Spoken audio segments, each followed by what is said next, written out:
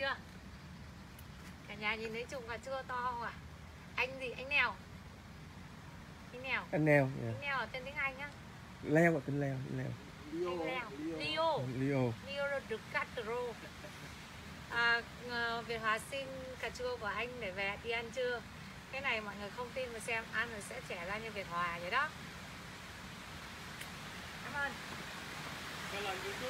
Dạ có em cho lên Cái là YouTube hả? lên lên trên YouTube anh sợ em đi nhiều lắm luôn.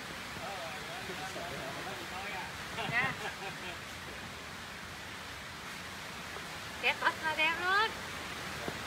Anh kia không những thế ở đây là thùng cắt tông cũng sản xuất in Việt Nam made in Việt Nam.